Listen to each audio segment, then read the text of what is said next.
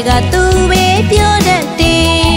နတ်ပြည်ကိုသူသွားအောင်မရေကွယ်ဖူးစားရှိရန်ကုန်သူနဲ့နေဖို့အတွက်ရန်ကုန်လာတော့ရန်ကုန်စကားမန္တလေးရောက်တော့ပြ